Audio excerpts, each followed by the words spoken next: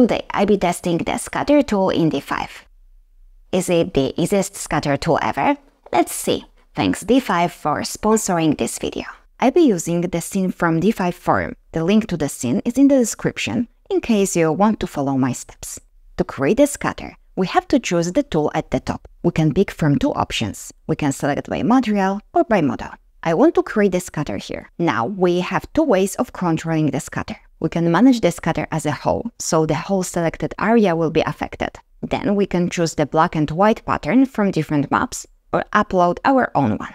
Or the second method is creating a sub-area using a color map. Then, depending on the map we choose, the smaller areas will be created and we can approach them individually. We can change the number of the divisions here if we want. It will create three sub-areas. So now I can select any of these three sub-areas treat them individually, and create different scatters for them. Next, we can choose the assets we want to use in the scatter. For the first layer, I add some shrubs. I look for something simple here. D5 has a great library of assets, so it's super easy to create various sets of plants. We have trees, shrubs, flowers, herbs, and much more. They are properly named, so it's easy to find specific species using a search bar. I want rather small shrubs that grow close to the ground. Now we can edit each asset individually. We can change the scale of an asset. We can also change the probability so we can control the proportions or occurrence of a given species. You can see that when I change the value here, it affects other assets in the scatter. If I set the probability to 200, then the probability for the other two will be half of what it was.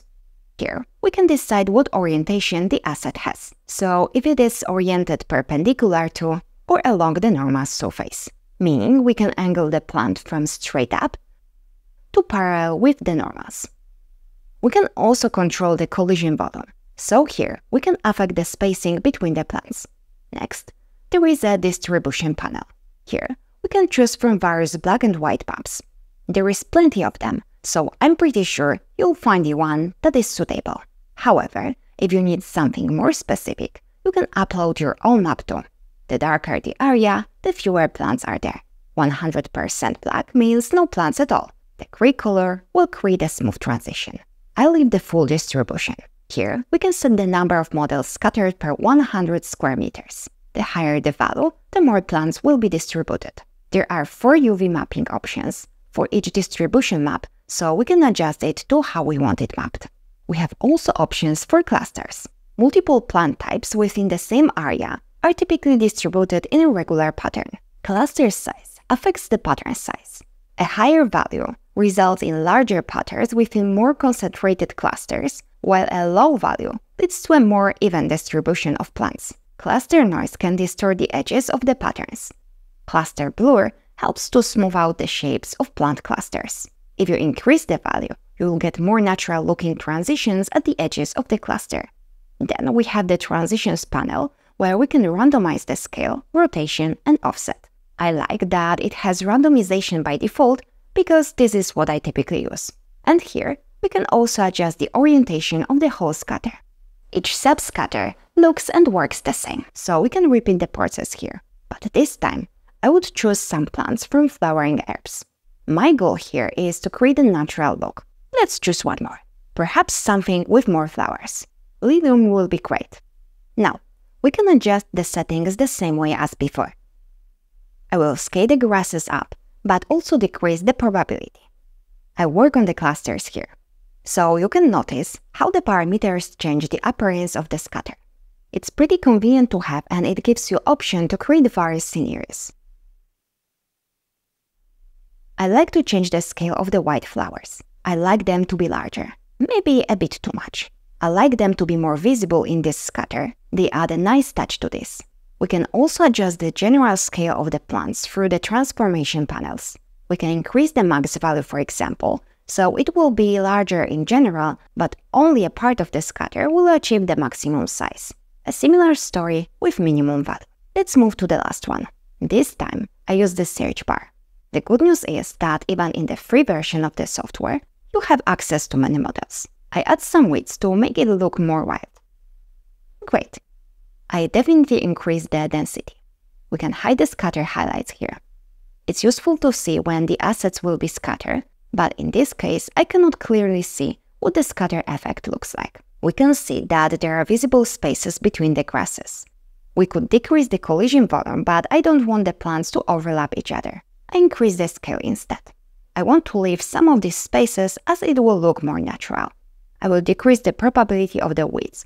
I want just a bit of them. By the way, if you don't like the distribution of your assets, we have one more option to use, seeds. It will create different variations. We have one more panel I want to talk about. Here, we can create a cull effect. It allows you to remove certain objects from the scatter by selecting a specific model or material. It's perfect for creating a path, for instance. The cull range affects how far from the edge the cull effects should be expanded. We can turn on the fall-off area to create more smooth transition.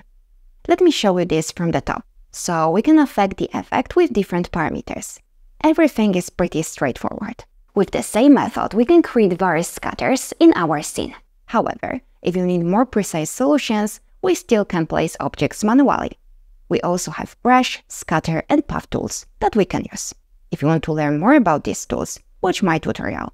Link in the corner and in the description below the video. We can edit the scatter easily whenever we like. To adjust the scatter area, we just have to click here. Other parameters we can change as we did before. We can add more assets here. But another cool thing is that we can now save our own presets. Talking about the presets, we can upload ready-to-use scatters from the D5 library. There is quite a few options here. Let's choose this one for example. I show you one more. Perhaps the farmland. Here we go. We can adjust it now to our needs, change the distribution map, scale, and so on. Everything is pretty straightforward and intuitive. I had no problems creating the scatter. It's easy to use, logically set up, and creates great results. I'm really impressed with the effect. To be honest, I didn't expect that. If you want to check it out by yourself, I put the link in the description. If you want to watch another tutorial in D5, watch the first video. If you want to learn the system of creating amazing visualizations, watch the second one. Bye bye!